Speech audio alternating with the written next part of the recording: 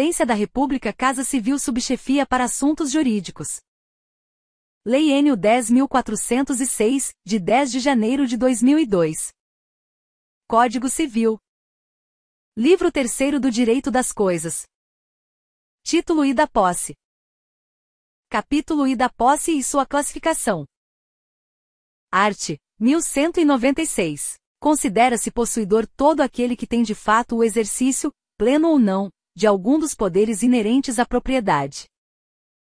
Art. 1197. A posse direta, de pessoa que tem a coisa em seu poder, temporariamente, em virtude de direito pessoal, ou real, não anula a indireta, de quem aquela foi a vida, podendo o possuidor direto defender a sua posse contra o indireto.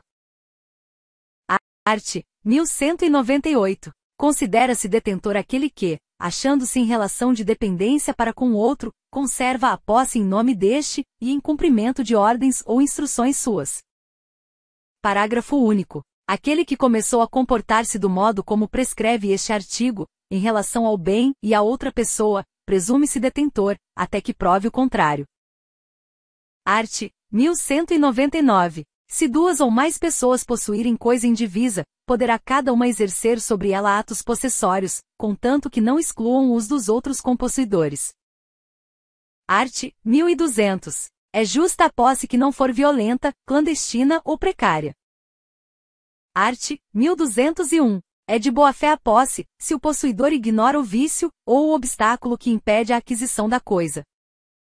Parágrafo único. O possuidor com justo título tem por si a presunção de boa-fé, salvo prova em contrário, ou quando a lei expressamente não admite esta presunção.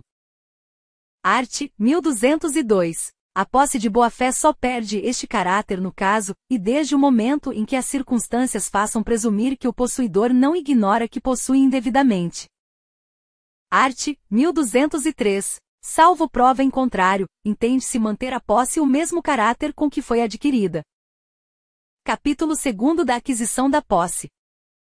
Art. 1204. Adquire-se a posse desde o momento em que se torna possível o exercício, em nome próprio, de qualquer dos poderes inerentes à propriedade. Art. 1205. A posse pode ser adquirida. E pela própria pessoa que a pretende ou por seu representante. Segunda por terceiro sem mandato, dependendo de ratificação. Art. 1206. A posse transmite-se aos herdeiros ou legatários do possuidor com os mesmos caracteres. Art. 1207. O sucessor universal continua de direito à posse do seu antecessor, e ao sucessor singular é facultado unir sua posse à do antecessor, para os efeitos legais. Art. 1208. Não induzem posse os atos de mera permissão ou tolerância, assim como não autorizam a sua aquisição os atos violentos, ou clandestinos, senão depois de cessar a violência ou a clandestinidade. Art. 1209. A posse do imóvel faz presumir até prova contrária, a das coisas móveis que nele estiverem. Capítulo 3 dos efeitos da posse. Art. 1210. O possuidor tem direito a ser mantido na posse em caso de turbação, restituído no desbulho, e segurado de violência iminente, se tiver justo receio de ser molestado. Um ou possuidor turbado, ou esbulhado, poderá manter-se ou restituir-se por sua própria força, contanto que o faça logo, os atos de defesa, ou de desforço, não podem ir além do indispensável à manutenção, ou restituição da posse. 2. Ou não obsta a manutenção ou reintegração na posse a alegação de propriedade, ou de outro direito sobre a coisa. Art. 1211. Quando mais de uma pessoa se disser possuidora, manter-se-a provisoriamente a que tiver a coisa, se não estiver manifesto que a obteve de alguma das outras por modo vicioso. Art. 1212. O possuidor pode intentar a ação de esbulho, ou a de indenização, contra o terceiro, que recebeu a coisa esbulhada sabendo que o era.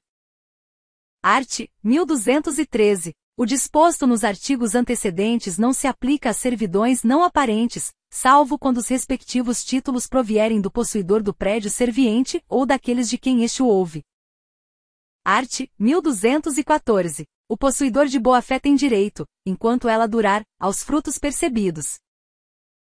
Parágrafo único. Os frutos pendentes ao tempo em que cessar a boa-fé devem ser restituídos, depois de deduzidas as despesas da produção e custeio, devem ser também restituídos os frutos colhidos com antecipação. Arte, 1215. Os frutos naturais e industriais reputam-se colhidos e percebidos, logo que são separados, os civis reputam-se percebidos dia por dia. Arte, 1216. O possuidor de má fé responde por todos os frutos colhidos e percebidos, bem como pelos que, por culpa sua, deixou de perceber, desde o momento em que se constituiu de má fé, tem direito às despesas da produção e custeio.